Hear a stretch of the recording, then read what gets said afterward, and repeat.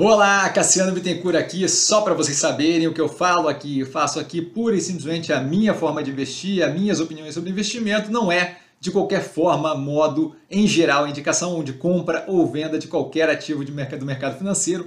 E agora o vídeo, valeu! Olá, Cassiano Bittencourt, pelo Visão do Estrategista, neste momento para fazer análise do Bradesco, tá? o banco múltiplo de grande porte, como comentado inúmeras vezes aqui, tanto na do Santander quanto na do Banco do Brasil, em geral, essas operações de grande porte são próximas, tá? eles têm mais ou menos ali o mesmo tipo de operação, uma diferença ou outra, ergo, por conseguinte, não vejo necessidade de aprofundar aqui nos pormenores da operação, para quem quiser, toda a perfumaria disponível na apresentação que está no site de RI, tá? A primeira vez que a gente analisa o Bradesco, foco nos pontos mais relevantes para a tomada de decisão de investimento, que é o que? No caso, a inadimplência, que está meio fora de controle, a retomada da operação e no que, que isso consiste, quanto tempo levaria, versus a precificação e custo de oportunidade de alocar aqui e não alocar num outro ativo. Então, como sempre, bem claro, bem sem encher linguiça, bem sem aprofundar demais no, no, no na perfumaria do negócio todo. Tá?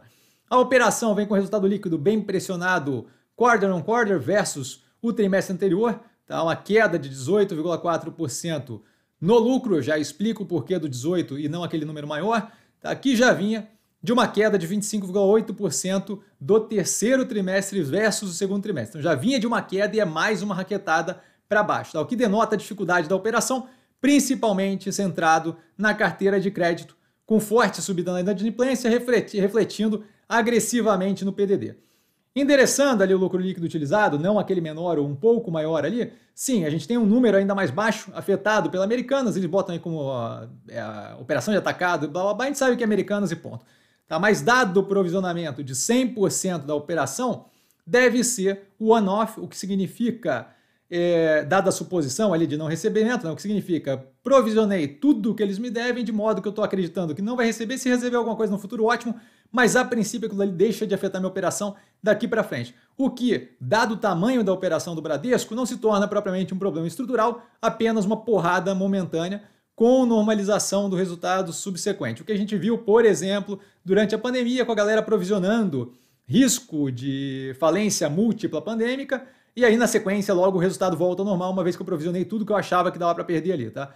Isso dito, o CERN operacional se encontra na carteira de crédito, ao meu ver, tá? A gente vê uma inadimplência crescente e bem acima dos pares, o over 90 ali acima de 90 dias atrasado em 4,3%, com continuidade mais modesta no número no aumento ali do over 15 a 90, o que atrasou de mais de 15 dias, menos de 90 dias, que serve como proxy ali da continuidade da pressão do over 90 nos próximos períodos, tá?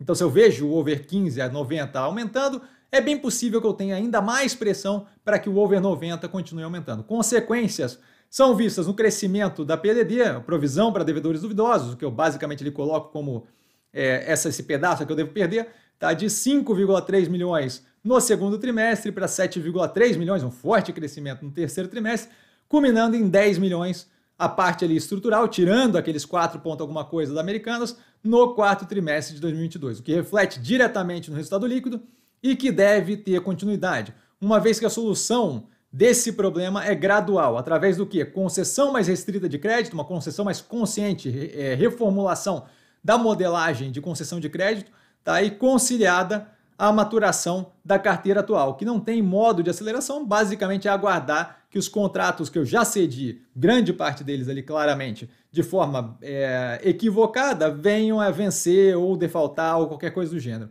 A operação já começou a ajustar a concessão de crédito, que é positivo, tá? o maior controle na política de concessão, como a gente pode ver na tela, já tem refletido em menor inadimplência das novas safras, tá?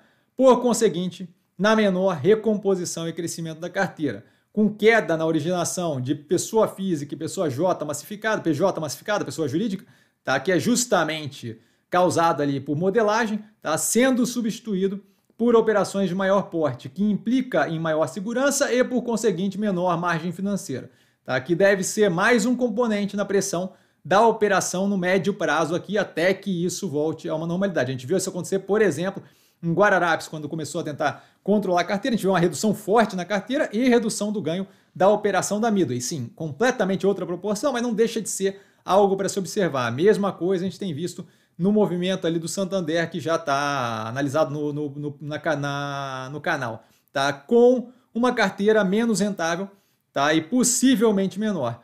Não sei se isso daqui vai ficar uma carteira menor ou não, mas que a gente vai ter uma substituição de mais arriscados e que pagam mais por menos arriscados e que pagam menos, vai ter.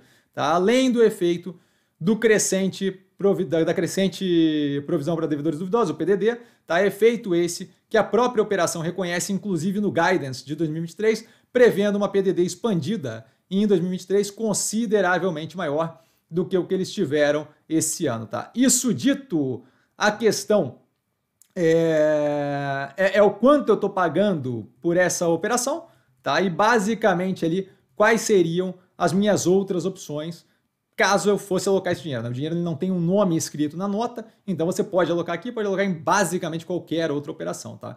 Olhando o gráfico do Banco do Brasil versus o Bradesco, a gente vê ali o descasamento claro da precificação. O Banco do Brasil ainda vejo como descontado, como comentado nas análises que faço no canal, não vi o resultado ainda do quarto trimestre, porque ainda não saiu, mas vejo como descontado.